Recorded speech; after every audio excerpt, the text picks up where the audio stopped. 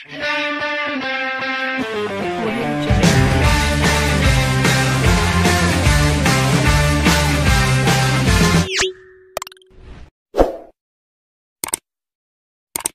Persija, Sudirman minta pemain Persija waspada karena Persita punya pemain agresif saat bertahan dan menyerang.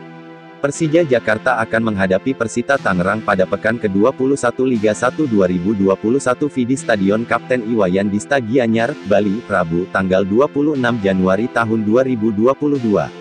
Pelatih baru Persija Jakarta, Sudirman, mengatakan bahwa melawan klub berjuluk Pendekar Cisadane bukanlah laga yang mudah untuk dimenangi.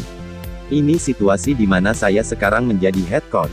Ini pertandingan pertama saya. Menurut saya, melawan Persita ini pertandingan yang tidak ringan, kata Sudirman saat konferensi per virtual, Selasa tanggal 25 Januari tahun 2022. Pria yang akrab disapa Coach Jen itu sangat mengetahui kekuatan Persita.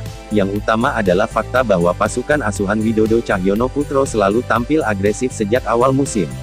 Saat ini, Persita ada di posisi ke-9 klasemen sementara Liga 1 2021 dengan torehan 25 poin dari 20 kali main. Sedangkan Persija ada di peringkat ke-8 klasemen sementara Liga 1 2021 dengan koleksi 29 poin dari 20 kali penampilan. Meski telah menelan 9 kekalahan, statistik gol ini menunjukkan bahwa Persita seimbang secara kekuatan dengan Persija. Kami juga tahu Persita tim yang punya pemain-pemain agresif dalam bertahan dan menyerang, tutur Coach Jen. Tentunya saya sudah menginstruksikan pada pemain-pemain saya untuk bisa meredam agresivitas mereka.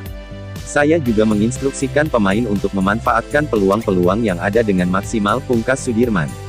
Ditambah lagi Persija Jakarta kedatangan pemain senior mereka Ismet Sofyan, sebelumnya Ismet Sofyan harus menepi beberapa waktu akibat cedera yang ditimpanya. Hal ini jelas meningkatkan kualitas sektor bek kanan Persija, yang menghanya diisi Marco Mota. Persija yang ditargetkan finish di tiga besar klasemen pada akhir musim tidak boleh mengalami kekalahan di pertandingan ini. Bila kalah, akan sangat berat bagi Persija mengejar ketertinggalan poin dari tiga klub papan atas. Sebab Macan Kemayoran terpaut cukup jauh dari Persib Bandung yang ada di peringkat 3 dengan koleksi 40 poin, Arema FC di peringkat 2 dengan koleksi 41 poin, dan Bayangkara FC di puncak klasemen dengan torehan 43 poin. Sebanyak enam pemain muda Persija Jakarta tetap berada di Sawangan, Depok menjalani latihan bersama Persija Academy. Sementara 35 pemain didaftarkan untuk menghadapi seri keempat Liga 1 2022. Pelatih Persija, Sudirman alias Coach Jen, dan anak asuhnya terbang ke Bali untuk menatap laga perdananya sebagai pengganti Angelo Alessio.